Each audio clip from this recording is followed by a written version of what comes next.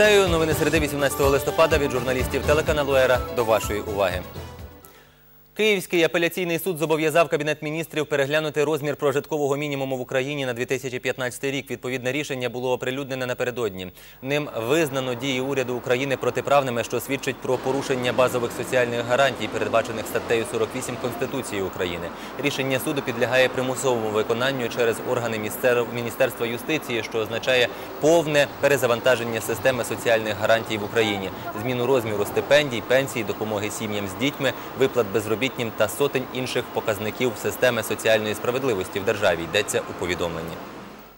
Кривавий розгін активістів Євромайдану 30 листопада 2013 року організував колишній президент Віктор Янукович. Він особисто дав вказівку тодішньому міністру внутрішніх справ Віталію Захарченку та секретарю РНБО Андрію Клюєву вигнати активістів із площі Незалежності у ніч проти п'ятниці Силоміць. Про це заявив начальник управління спеціальних розслідувань Генеральної прокуратури Сергій Горбатюк. За його словами, розгоном студентів керували безпосередньо командир полку міліції спецпризначення столиці Сергій Кусюк та заступник із громадської безпеки Петро Федчук.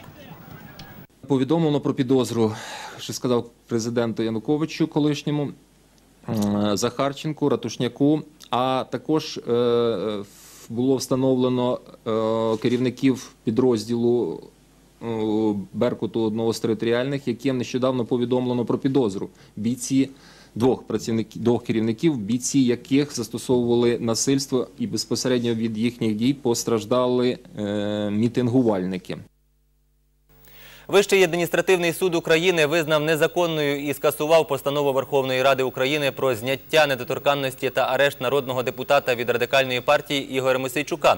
Адвокати підсудного розраховують отримати повний текст рішення Вищого адмінсуду протягом п'яти днів та представити його у Печерському районному суді Києва, де розглядатимуть питання про запобіжний захід Мосійчуку. Це вже друга перемога радикалів у судах за останні дві доби. Напередодні суд визнав незаконною бездіяльність президента у питанні оновлення складу ЦВК. Утім, ці перемоги не надто тішать Ляшка та його соратників, бо свідчать про системне порушення владою законів України. Рішення Вищого адміністративного суду, яким скасовано постанову Верховної Ради про арешт Мосійчука, означає тільки одне. Рішення парламенту про арешт Мосійчука було незаконним, арешт Мосійчука був незаконним. Те, про що я доводив увесь цей час із вересня місяця, це був правовий безпреділ, це був політичний спектакль. А чи не забагато порушень закону представниками е, найвищих гілок влади? Вчора суд визнає незаконними дії президента Порошенка. Сьогодні суд визнає незаконними фактично дії голови Верховної Ради Гройсмана.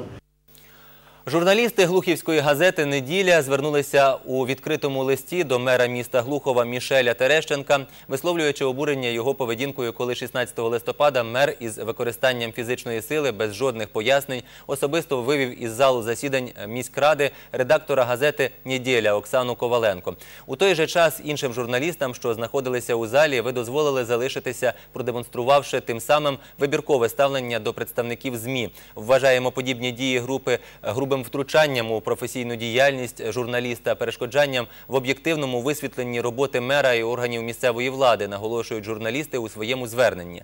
Журналісти наголошують, що у даній ситуації ми побачили перші прояви тотальної цензури, політики заборон і перешкоджанню роботі журналістів у місті Глухові. Якщо ви не знаєте за що стояв європейський майдан, то можна нагадати, у тому числі і за свободу слова як одну із європейських цінностей. Якщо у вашому розумінні незаконна заборона журналістові працювати є подібною цінністю, то, мабуть, справа не у Європі, а у вашому особистому трактуванні владних повноважень міського голови. Вимагаємо від пана Терещенка публічних вибачень перед нашою колегою.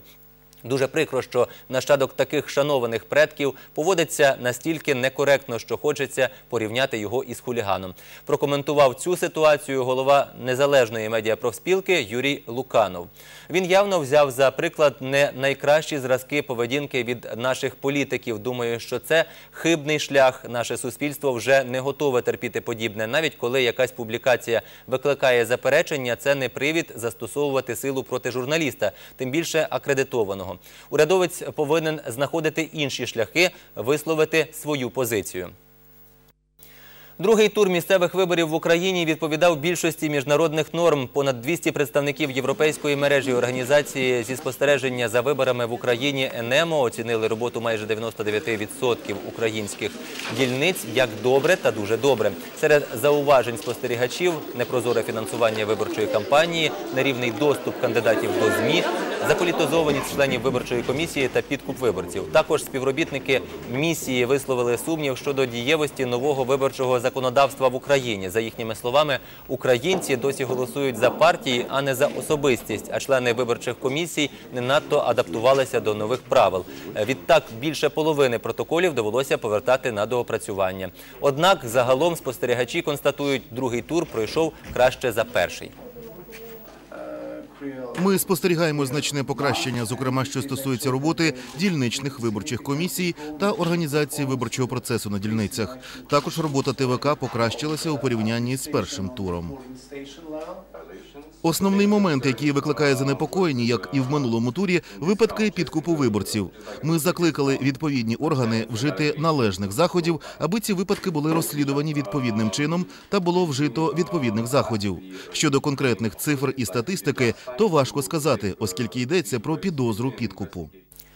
Ще з маличку дитина проводить більшу частину вільного часу перед монітором. Сучасні технології розвиваються і, звісно, здійснюють великий вплив на свідомість малечі. З цього приводу у батьків свої судження, але позитив це чи негатив для дитини допоможуть з'ясувати наші експерти. Життя дітей неможливо уявити без сучасних технологій. Цьому переконана завідуюча дитячого садка. За її словами, мислення та увагу потрібно розвивати різними методами: це ігри, конструктори, ліплення. Не завжди мультики мають великий вплив на дітей. Вихователька наголошує, дітям необхідна увага та любов батьків. Я так вважаю. Ну і ми дивимося, що електронні це вже як повсякденне. А коли ці е, іграшки, які ми гралися, ми чи там наші діти, то на них воно теж має певний вплив, і вони здивовані, вони дуже зацікавленістю роздивляються ці іграшки і бажають гратися. Різні думки, але одна ідея розвиток технологій. Багато слів не сказано, багато думок ще не почуто. У щасливого батька двох дітей своє бачення ситуації. Він каже, що працює з комп'ютерами уже 26 років. Для нього це як робота, так і розвага. І, мабуть, для дітей це також має бути задоволення. Моя донька їй всього 4 роки, вона дивиться тільки на розвиваючі ігри. Інші її не цікаві. Крім того, в гаджетах є можливість читати книжки. Е, Це дуже корисно для школяра. Обмеження є, тому що діти часто захоплюються і зазвичай ми не даємо їм користуватись більше двох годин. Впевнений, уважний, четвертокласник знає, що потрібно дитині. Він розповідає, що любить комп'ютерні ігри так само, як і молодша сестра. Навіть каже, що вчителька не проти мобільних телефонів у дітей. Тим самим зауважує, тільки у його школі, адже викладачка добра. Хлопчик натякає, що всьому потрібно знати міру. Я люблю грати е, на планшеті, особливо е, в Clash of Clans, там е, Subway Surf. Півчаса в день буває перевищую, але мене не дуже ругають. Лікар-педіатр столичної лікарні досить негативно відгукнувся щодо впливу інформаційних технологій на дитину. Він переконаний, що все накопичене з малку проявляється у підлітковому віці, тоді й виникають недуги.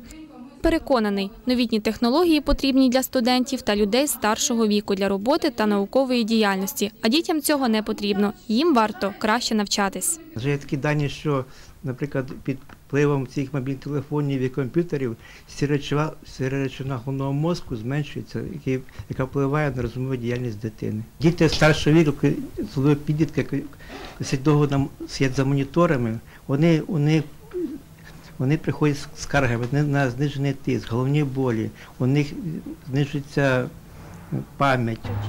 Сучасний світ не стоїть на місці. Кожна дитина розвивається під впливом новітніх технологій. Разом з тим потрібно відчути золоту середину, адже час, проведений на свіжому повітрі, це здоров'я, а планшет чи телефон це розвиток та вміння. Складна соціально-економічна ситуація в Україні вимагає рішучих дій профспілок. Саме вони мають оперативно і відповідно реагувати на ті події, що відбуваються останнім часом у соціально-трудовій сфері. У першу чергу посилюється загроза скорочення та звільнення працівників, падіння реальної зарплати, глибока прірва бідності серед працюючих людей. Про це у нашому наступному сюжеті. Затяжний характер економічної кризи в Україні загрожує тривалою депресією багатьом виробникам. З метою уникнення збитків роботодавці скорочують робочі місця та економлять на охороні праці. Водночас працівники продовжують виконувати роботу в інтересах виробництва. В положении расследования есть э, такая фраза «действовал в интересах предприятия». Э, То есть э, работник э, мог э, отклониться от своих прямых обязанностей, но все же де- выполнять э, какие-то действия в интересах предприятия. Виконав і травмувався. Для українських виробників соціально-економічна криза може стати загрозою для виробництва конкурентоздатної продукції. Адже для країн-імпортерів важливе місце займає безпека праці на виробництві. на таких підприємствах, які працюють на імпорт своєї продукції, без ISO 900 їхня продукція не буде куплена. Так коли вони участвують в тендерах, перше питання покажіть свою нормативну документацію з питань охорони праці, щоб ваш працівник, не дай Бог, не був травмірований. Подолання причин та умов настання нещасних випадків це не лише економічна вигода для виробника, а й збереження життя кваліфікованому працівнику, стверджують страхові експерти фонду соціального страхування від нещасних випадків на виробництві та професійних захворювань України. Зв'язатися із нами ви можете за адресою, яку нині бачите на екрані. Одразу після інформаційного випуску дивіться новини спорту. Побачимося.